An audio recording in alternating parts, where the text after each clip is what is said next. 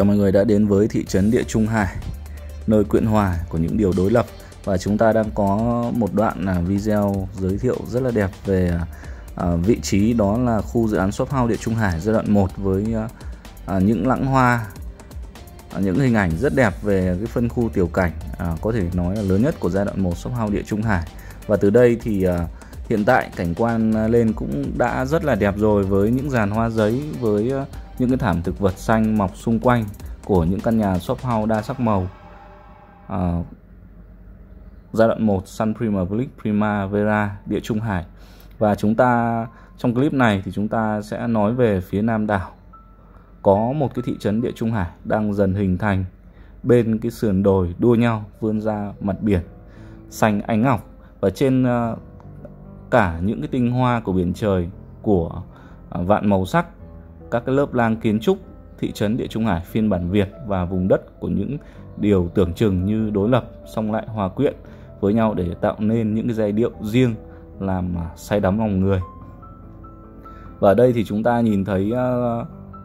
uh, những cái dàn hoa giấy, những cái phân khu tiểu cảnh để uh, khách hàng, để khách du lịch khi đến với thị trấn Địa Trung Hải chúng ta có những cái điểm dừng chân để chụp ảnh.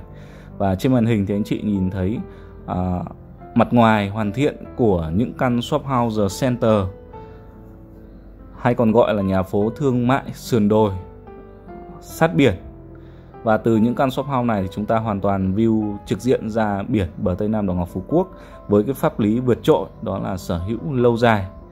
Đây là cái block shop house đầu tiên sẽ hoàn thiện block shop house à, tại cái mặt đường Amalfi từ khoảng một căn à, AMA 184 cho đến khoảng AMA 164 và đối diện với cái phân khu tiểu cảnh của giai đoạn 1 shop house địa Trung Hải. À, thị trấn Địa Trung Hải là nơi hòa quyện giữa biển xanh sâu thẳm với núi cao điệp trùng, nhấp nhô, những cái dãy nhà phố từ cao tới thấp với cái kiến trúc sắc màu từ cổ điển tới hiện tại hiện đại để rồi khi nhìn à, từ bất kỳ góc độ nào từ trực diện ôm ờ, trọn chọn lấy đại dương hay là từ trên cao bao quát toàn cảnh Nam đảo thì đều cảm nhận được cái sự lãng mạn,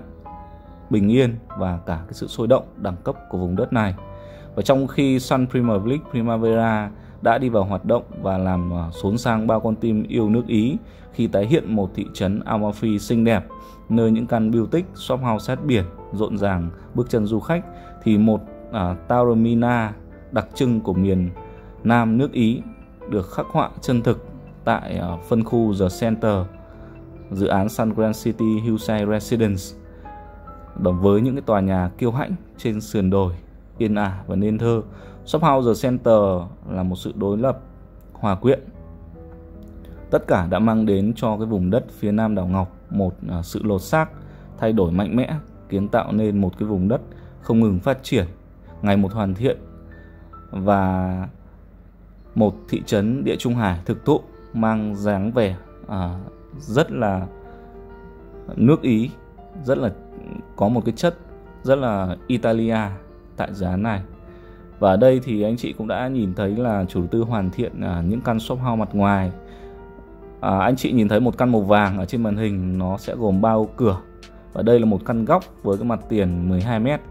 Còn những căn bên à, thường ở bên cạnh ở phía trong này thì mỗi một căn sẽ bao gồm hai ô cửa của một tầng và xây hoàn thiện mặt ngoài là 5 tầng. Những căn mặt đường Amalfi này thì cái mặt tiền chính sẽ hướng ra biển. Đây là những căn Amalfi ờ, mã chẵn. Những căn mã lẻ thì sẽ thuộc giai đoạn 1 ở đây thì chúng ta có những cái block uh, shop house từ căn 176 à, căn góc đầu tiên này thì anh chị nhìn thấy chúng ta có cái căn AMA 184 184 là một căn mặt tiền rộng 12 m và bên cạnh là những cái căn AMA 182, 180, 178 và 176 đây là một block shop house gồm 5 căn. 5 căn shop house với chiều cao 5 tầng kiến trúc Taromina địa Trung Hải đặc trưng và anh chị nào đang quan tâm đầu tư về à, một căn shop house, một căn nhà phố thương mại sát biển tại à, dự án The Center, Sun Grand City Hillside Residence hay là dự án shop house địa Trung Hải giai đoạn 2 thì anh chị vui lòng liên hệ với em Vinh qua số hotline trên màn hình. Cảm ơn anh chị đã theo dõi clip này và hẹn gặp lại.